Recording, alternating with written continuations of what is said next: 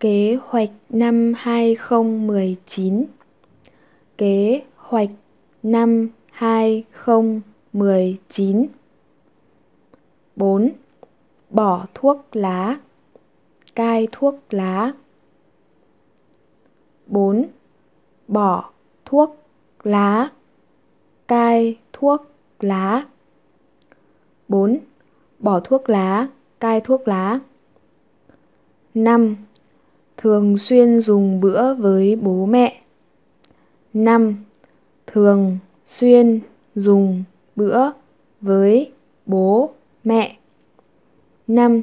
Thường xuyên dùng bữa với bố mẹ. 6. Giảm uống rượu. 6. Giảm uống rượu. 6. Giảm uống rượu. Cai thuốc lá, cai thuốc lá, cai thuốc lá. Bố, mẹ. Bố mẹ. Bố, mẹ. Thường, xuyên. Thường xuyên. Thường, xuyên. Giảm.